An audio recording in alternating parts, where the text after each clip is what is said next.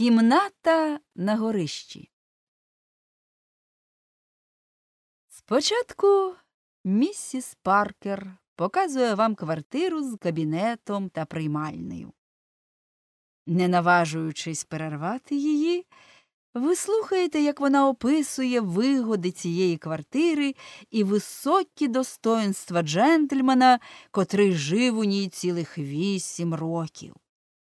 Нарешті знаходите в собі сили і, заїкаючись, признаєтеся, що ви не лікар і не дантист. Місіс Паркер сприймає це ваше признання так, що ви назавжди перестаєте поважати своїх батьків, які не дали вам професії відповідної до кабінету та приймальної місіс Паркер. Потім ви піднімаєтеся по сходах і вже на другому поверсі оглядаєте квартиру вікнами у двір за 8 доларів на тиждень. Пояснення, які дає місіс Паркер на другому поверсі, переконують вас, що ці кімнати варті всіх 12 доларів. Стільки і платив за них містер Тузенбері, поки не виїхав у Флориду доглядати апельсинову плантацію свого брата поблизу Палм-Біч, де проводить кожну зиму і місіс Мак. Інтайр, яка живе у двох кімнатах з вікнами на вулицю з окремою ванною. Ви все це слухаєте, а проте, зрештою, набираєтеся мужності пробелькотіти, що хотіли б подивитися щось іще дешевше. Якщо ви переживете презирство, з яким сприйняла це бажання місіс Паркер, вас поведуть оглянути велику кімнату містера Скіддера на третьому поверсі. Кімната містера Скіддера не здається в найми. Він просиджує в ній цілі дні, пише п'єси і курить цигарки, але кожного, хто шукає квартиру, приводять сюди помилуватися ламбрекенами. Після таких відвідин містер Скідер від страху, що його можуть вигнати, звичайно віддає частину боргу за кімнату. Тоді, о, тоді, якщо ви ще тримаєтеся на ногах, стискаючи гарячою рукою у кишені мокрі від поту три долари, і хрипким голосом оповіщаєте про свою гидку і гідну осуду бідність, місіс Паркер перестає супроводжувати вас. Вона голосно гукає Кларо, повертається до вас спиною і йде вниз. Після цього Клара, служниця негритянка, веде вас по вкритих доріжкою вузеньких, крутих, мов корабельний трап, сходах на четвертий поверх і показує кімнату на горищі. Ця кімната площею 7 на 8 футів міститься посеред будинку. По обидва боки її розташовано темні комірки. У кімнаті є залізне ліжко, умивальник і стілець. Полиця править за стіл і шафу. Чотири голі стіни кімнати сходяться над вами, мов віко труни. Рука у вас тягнеться до горла, ви задихаєтеся, дивитеся угору, як з колодязя, і з полегкістю зітхаєте. Через невеличке віконце у стелі видніє квадратик безмежної блакиті. Два долари, сер, каже Клара напівпризирливо, напівпривітно. Якось, шукаючи кімнату, сюди прийшла міс Лісон. Вона тягла на собі друкарську машинку, зроблену з розрахунку на те, що її носитиме набагато огрядніша жінка.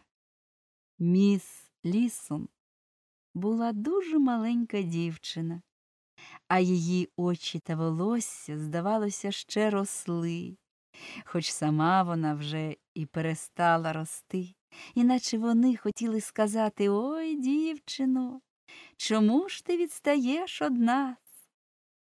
Місіс Паркер показала їй квартиру з кабінетом та приймальнею. У цій шафі, казала вона, ви можете тримати кістяк або ліки, або вугілля. Та я ж не лікар і не дантист, промовила міс Лісон, здригнувшись.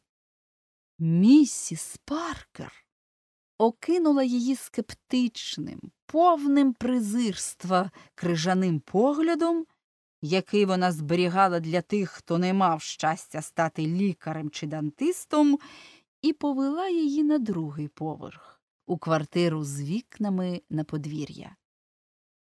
Вісім доларів? спитала міс Лісон. Ні, ні за що. Я не можу собі цього дозволити. Я тільки бідна дівчина, яка сама собі заробляє на хліб. Покажіть мені щонебудь вище, але щоб ціна була нижча. Коли постукали у двері містера Скідера, він схопився і недокурки розлетілися по підлозі. Вибачайте, містер Скідер, з демонічною посмішкою сказала місіс Паркер, помітивши, як той зблід. Я не знала, що ви дома. Я запросила цю жінку подивитися на ваші ламбрекени. О, вони справді дуже симпатичні, сказала міс Лісон, усміхаючись саме так, як це роблять ангели. Коли вони пішли, містер Скідер заходився викреслювати із своєї останньої невиданої п'єси високу чорняву героїню і вписувати замість неї маленьку, пустотливу, з важкими блискучими косами і жвавим обличчям. Анна Хелд накинеться на цю роль, промовив сам до себе містер Скідер, задираючи ноги аж до ламбрикенів і зникаючи у цілій хмарі диму, наче якась повітряна кракатиця. Незабаром оклик Кларо, що пролунав, як на сполох, сповістив світ про стан гаманця міс Лісон. Чорний домовик схопив її, підняв по пекельних сходах, кинув у склеп, куди ледь проникало десь зверху тьмяне світло, і пробурмотів грізні кабалістичні слова Два долари. Я згодна, зітхнула міс Лісон, сідаючи на скрипуче залізне ліжко. Міс Лісон щодня ходила на роботу. Ввечері вона приносила додому списані папери і передруковувала їх на своїй машинці. Часом увечері у неї не було роботи, і тоді вона, звичайно, разом з іншими пожильцями сиділа на східцях високого ганку. Природа не призначала міс лісом для кімнати на горищі. То була весела, повна ніжності і химерних фантазій дівчина.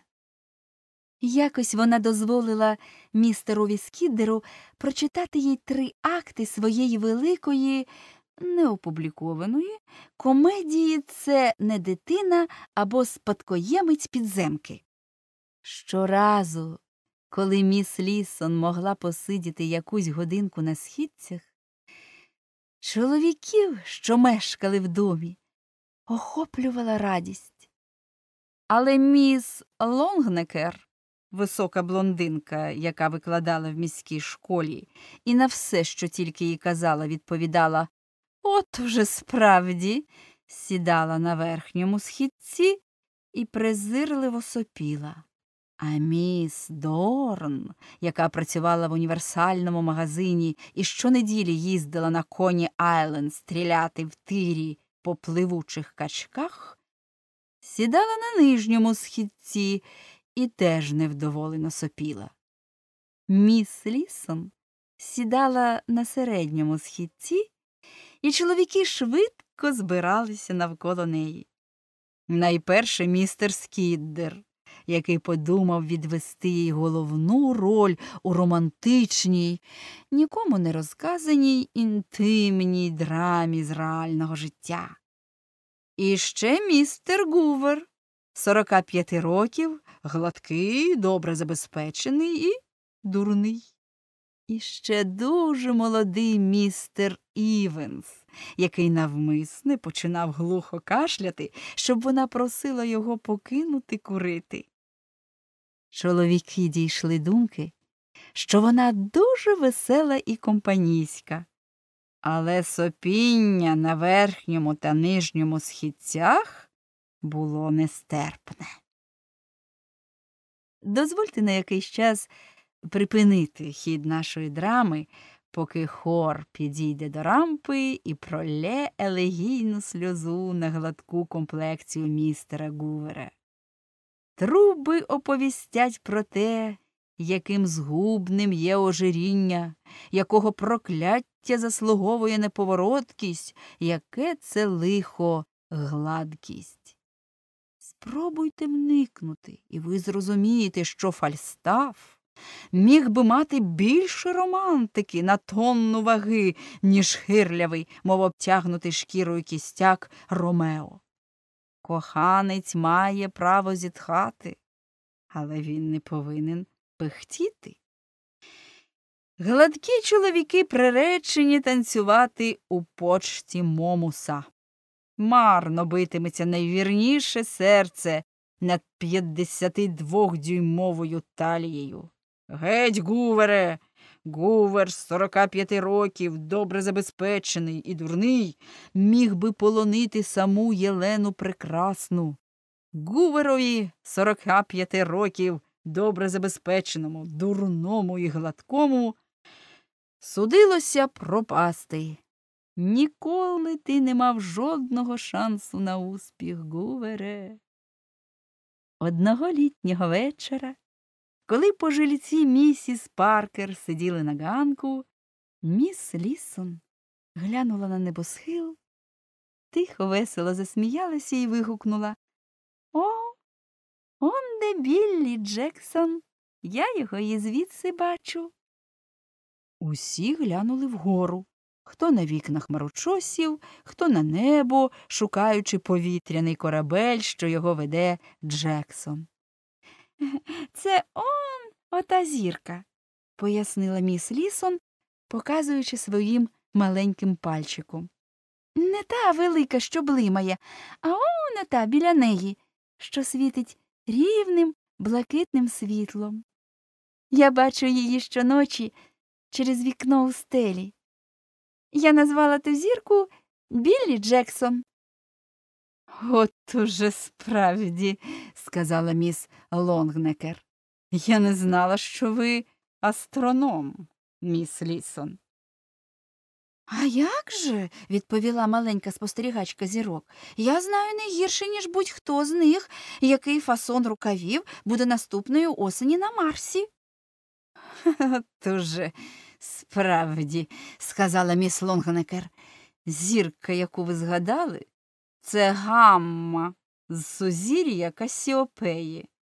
Вона належить до зірок другої величини і проходить через меридіан у. О, сказав дуже молодий містер Івенс.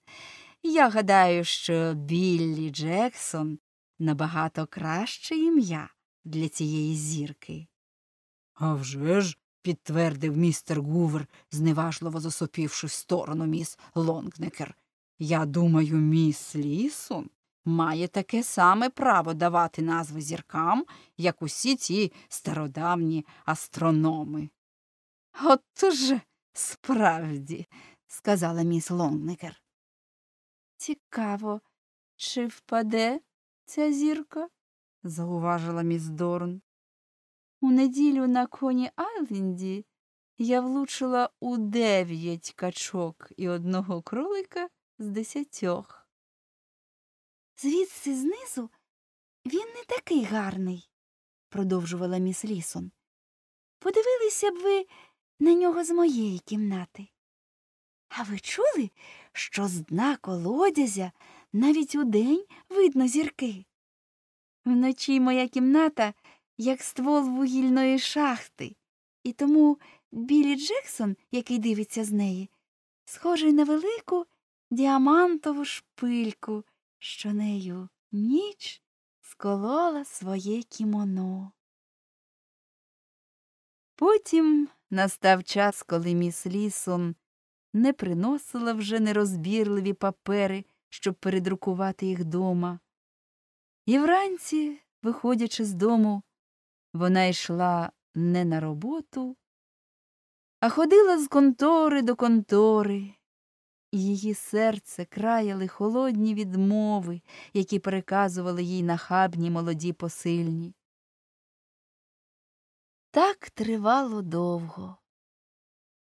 Одного вечора міс Лісон стомлено піднялася на ганок будинку місіс Паркер. Це було саме в той час, коли вона, звичайно, поверталася після обіду в кав'ярні. Але цього разу вона прийшла не пообідавши. У вестибюлі вона зустріла містера Гувера, який вирішив скористатися з цієї нагоди. Він спитав міс Лісом, чи не погодиться вона вийти за нього заміж. Його гладке черево нависало на перила. Він спробував узяти її за руку, але вона підняла руку і легенько вдарила його по щоці. Крок за кроком вона піднімалася вгору, хапаючись за перила. Пройшла повз кімнату містера Скіддера, де той червоним чорнилом вписував у свою неприйняту комедію ремарку для Мертл Делорм міс Лісон, що мала пройти піруетом з лівої частини сцени до того місця, де стоїть граф. Нарешті вона доплентала по вкритих доріжкою крутих сходах до горища і відчинила двері своєї кімнати. У неї не стало сил, щоб засвітити лампу або роздягнутись.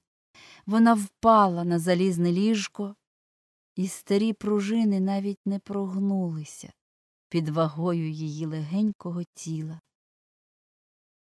У цій кімнаті, яка була схожа на пекло, міс Лісон підняла важкі повіки і усміхнулась, бо її вірний, спокійний і яскравий Біллі Джексон сяяв їй крізь вікно у стелі. Вона була відірвана від усього світу. Вона поринула у глибоку пітьму, і тільки маленький квадрат блідого світла облямовував зірку, яку вона так химерно, так марно назвала. Мабуть, міс Лонгникер має слушність. Це гамма у сузір'ї Касіопеї, а не Біллі Джексон. Але все-таки не хочеться погоджуватися з тим, що це гамма. Лежачи на спині, вона двічі спробувала підняти руку. На третій раз це їй вдалося. Вона піднесла два худеньких пальці до уст і з темної ями послала Біллі Джексону поцілунок. Потім її рука безсило впала. Прощай, Біллі, ледве прошепотіла вона. Ти за мільйони миль звідси, і ти навіть не блимнеш мені. Але ти світив, і я тебе бачила майже весь час, коли навколо не було нічого, крім пітьми. Правда ж? Мільйони миль. Прощай, Біллі Джексон. Наступного ранку, о десятій годині, служниця негритянка Клара побачила, що двері міс лісом замкнені. Їх зламали, ні оцет, ні розтирання і палені пера не допомогли, і тоді хтось побіг викликати по телефону швидку допомогу. В означений час карета із страшним дзвоном розвернулася біля ганку, і з неї вискочив енергійний молодий медик у білому халаті, впевнений, готовий діяти. Спокійне лице його було напівжиттєрадісне, напівпохмуре. У будинок 49 викликали карету, сказав він коротко. Що трапилось? Так, так, докторе, зітхнула місіс Паркер, ніби вона найбільше непокоїлася, що у її домі трапилося нещастя. Я не розумію, що з нею могло статися. Ми зробили все, що могли, але вона все ще не приходить до свідомості. Це молода жінка, міс Елсі, так, так, якась міс Елсі Лісон. Ніколи раніше в моєму домі. Яка кімната? вигукнув лікар таким страшним голосом, якого місіс Паркер ніколи раніше не чула. «Е, Кімната е, на горищі. Це. Мабуть, лікар швидкої допомоги добре знав розташування кімнат на горищі. Він побіг угору сходами, стрибаючи через чотири східці. Місіс Паркер, поволі, як того вимагала її гідність, рушила слідом. На першій площадці сходів вона зустріла лікаря, який уже повертався, несучи на руках астронома. Він зупинився і стиха сказав кілька слів, гострих, як скальпель хірурга. Місіс Паркер повільно зігнулась, мов сукня з цупкої матерії, яка впала з цвяха. Відтоді вона лишилася назавжди зігнутою і душею, і тілом. Траплялося цікаві пожильці, питали, що сказав їй тоді лікар. А хай йому, відповідала вона. Коли б мені пощастило вимолити прощення за те, що я слухала його, я була б задоволена. Лікар із своєю ношею пройшов повз натовп цікавих, яких завжди ваблять усякі видовища, і навіть вони, ошелешені, розступилися, бо вигляд у лікаря був такий, наче він ховає найдорожчу людину. Вони помітили, що лікар не поклав тіло, яке ніс, на носилки, а тільки сказав шоферові Жени щодуху, Уілсон. Оце і все. Чи вийшло у мене оповідання? На другий день у ранковій газеті я побачив маленьку замітку, її останні слова, можливо, допоможуть вам, як допомогли мені, зв'язати всі події. У замітці повідомлялося, що з будинку 49 по східній вулиці до лікарні Белвю привезли молоду жінку, надзвичайно виснажену тривалим голодуванням. Замітка кінчалася словами Доктор Уільям Джексон, лікар швидкої допомоги, якого викликали до хворої, твердить, що вона видужає.